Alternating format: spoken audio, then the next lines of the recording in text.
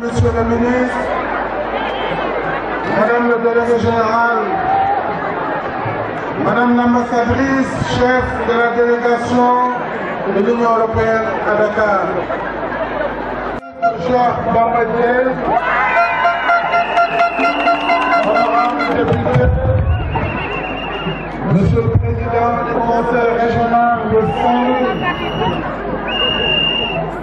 Monsieur le recteur de l'Université Gaston Berger, Monsieur le ministre de l'Enseignement supérieur, Marie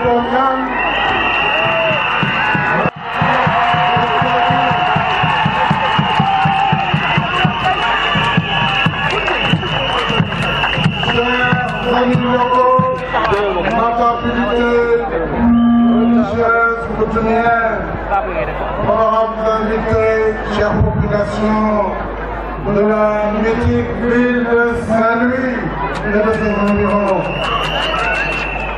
Je voudrais, à l'entame de mon propos, vous remercier très chaleureusement votre mobilisation si belle, si exceptionnelle et votre accueil toujours chaleureux à l'occasion de cette cérémonie qui marque la fin des travaux de ce grand projet d'infrastructure.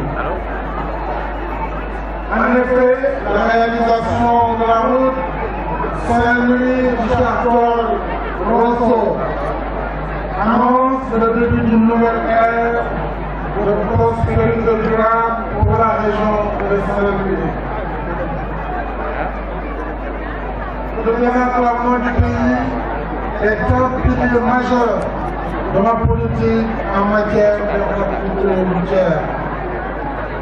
C'est ainsi que mon programme, mon gouvernement a entrepris un vaste programme d'infrastructure.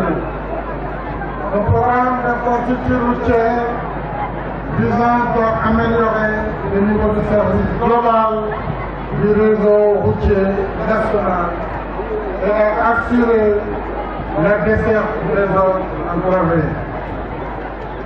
Effet, des travaux de grande envergure ont été récemment achevés à la grande satisfaction des populations.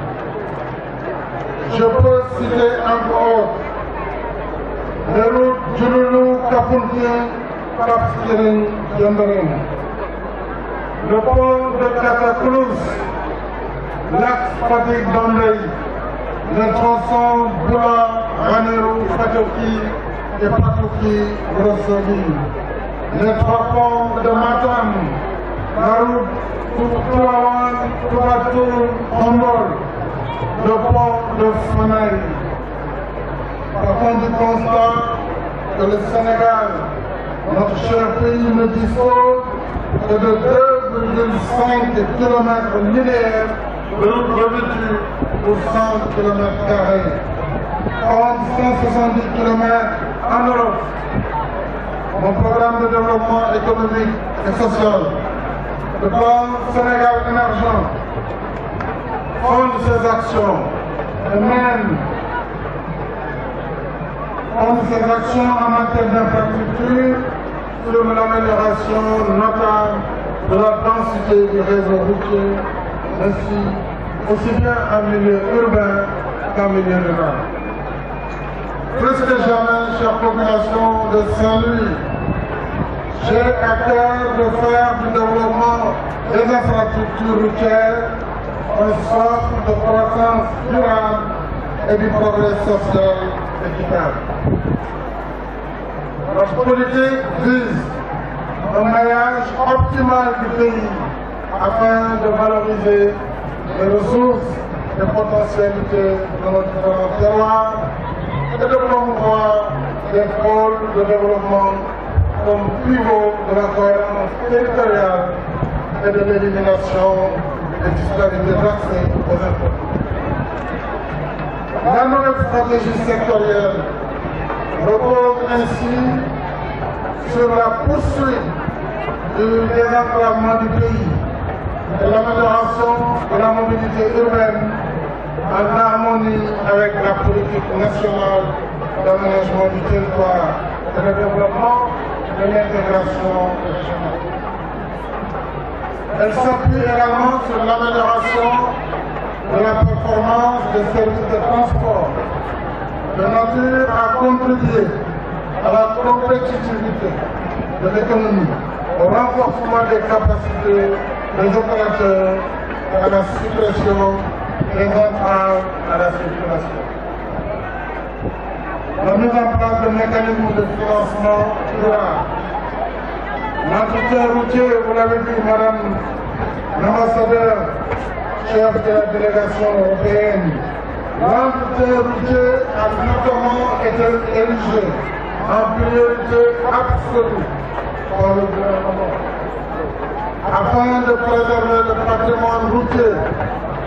Titre que le contrôle de la charge à l'essai sera bientôt effectif de l'ensemble du territoire national.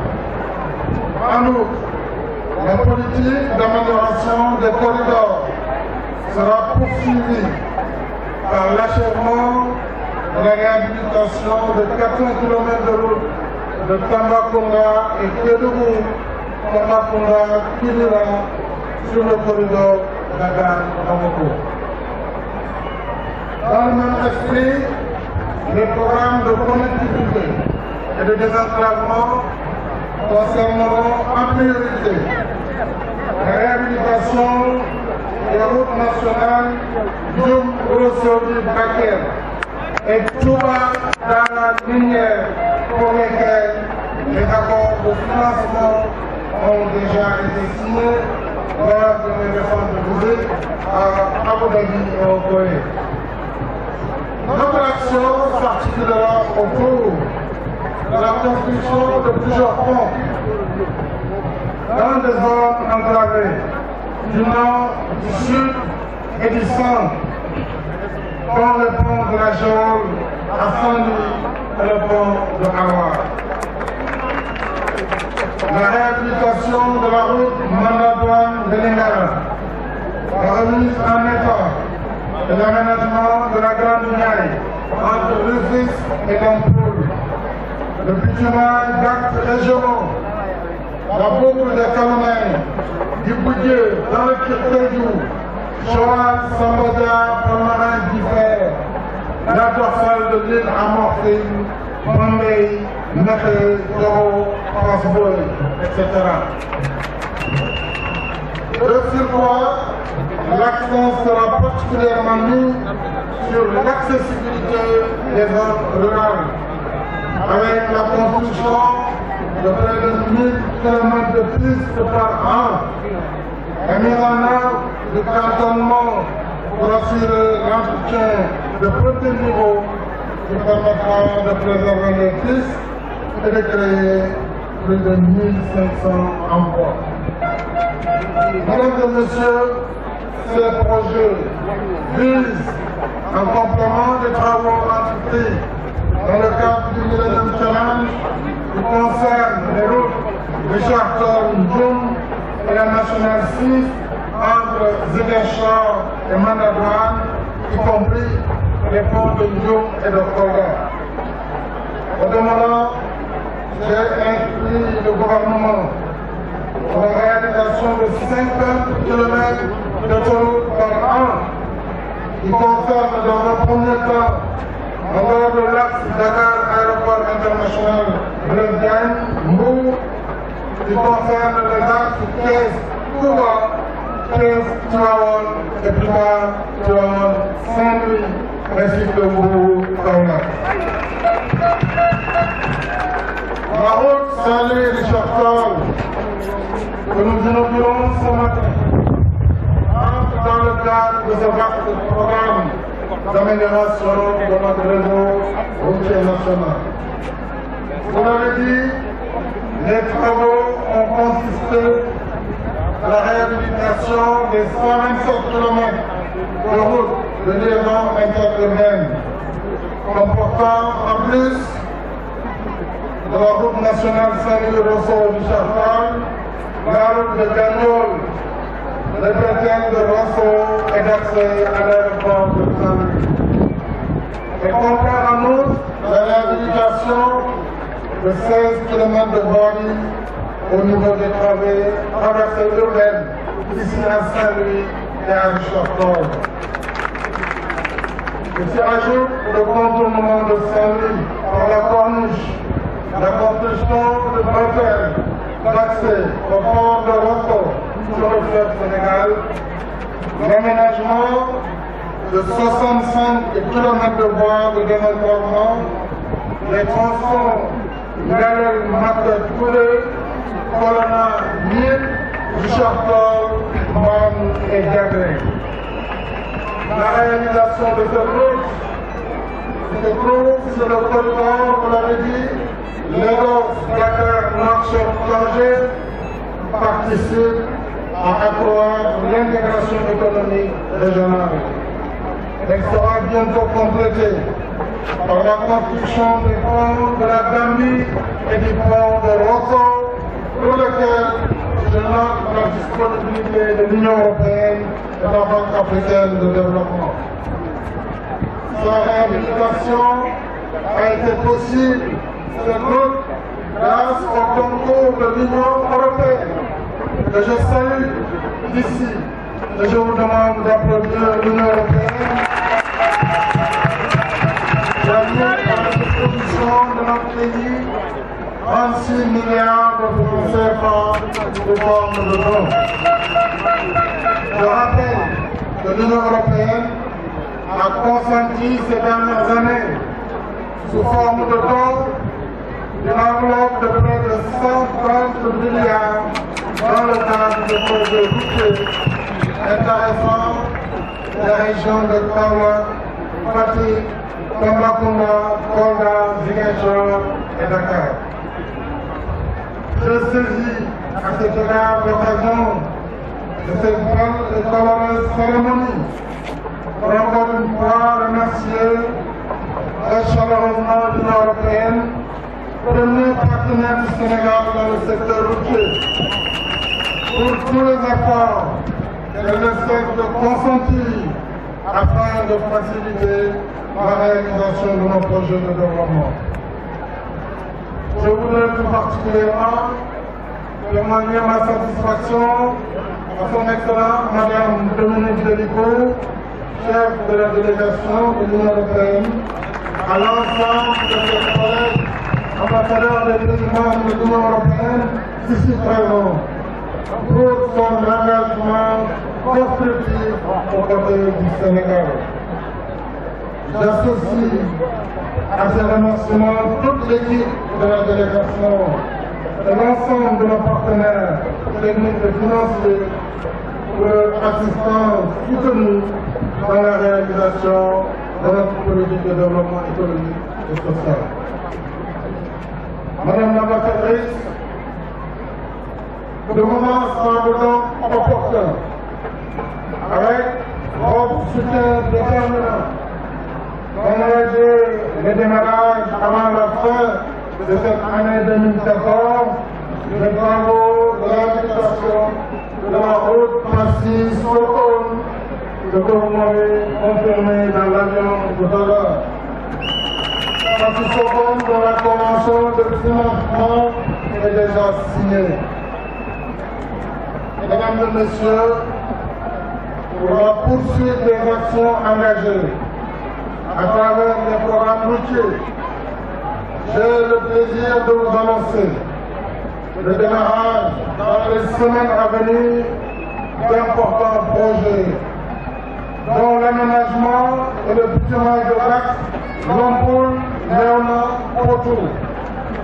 La construction de la route Potou-Kandiol. L'aménagement de la route Joal Sambadia Palmarès Diffère. L'aménagement et le de l'axe Kinedougou Salemata les cibles Kolda, Bata, Medina Yoro Kokokuru, Kokokuru Dabo. La réhabilitation de la route Yamakoto, Mako et Kédougou.